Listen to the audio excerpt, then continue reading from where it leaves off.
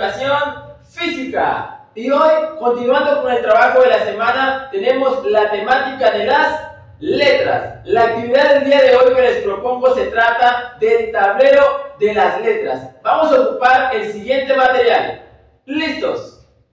Utilizaremos un cartón de casillero de huevo. ¿Qué vamos a hacer? Lo vamos a pintar del color que ustedes deseen. Yo lo hice en blanco para que contrastara con el siguiente material que vamos a utilizar. Ya que lo hayamos pintado, vamos a conseguir taparroscas. Taparroscas de un solo color van a ser un total de 35 taparroscas. Una taparrosca para cada orificio del tablero. Ya que tengamos pintado nuestro casillero de huevo y nuestras taparroscas juntadas, podemos comenzar con el juego.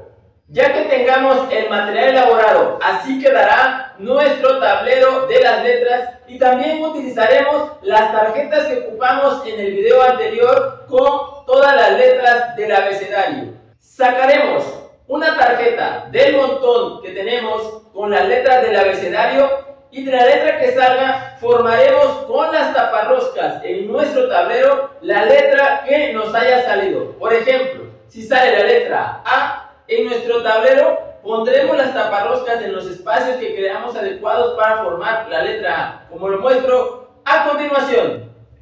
Muy bien, ahí tenemos el ejemplo con la tarjeta con la letra A y el tablero la letra A. Así formaremos todas las letras que nos vayan saliendo. Le vamos a pedir a un adulto, a, a, nuestro papá, a nuestra mamá, algún familiar, un hermano que tengamos en casa, que nos vaya eligiendo la tarjeta y nosotros con la ayuda de las taparroscas representaremos la letra en el tablero. Suerte chicos, lo vamos a hacer de lo mejor y decimos 5, 4, 3, 2,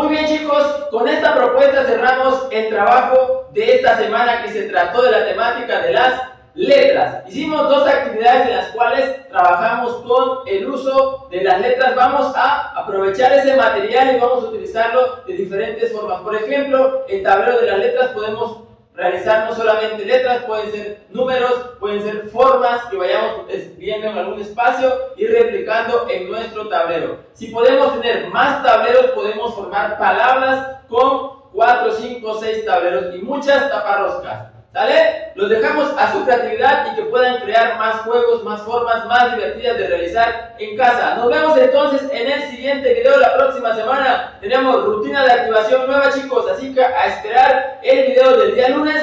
Nos vemos, que pasen bonito fin de semana. Adiós.